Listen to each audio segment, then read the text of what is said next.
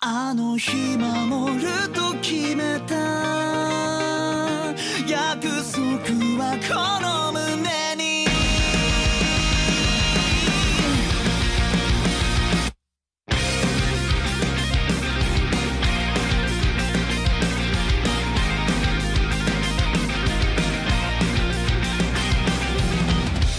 全てを失うことで今命があるのなら喜んで全部をあげよう。この気持ちが初めての生きがいだ。傷跡は隠さないで。絶望も武器にして生きると決めた。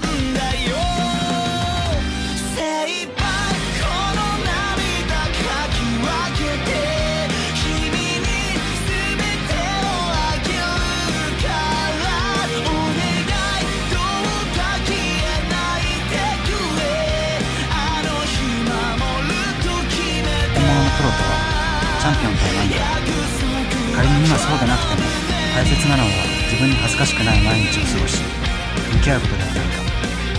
今日の自分はそれにふさわしかったか。そんな自問自答をしながら走る。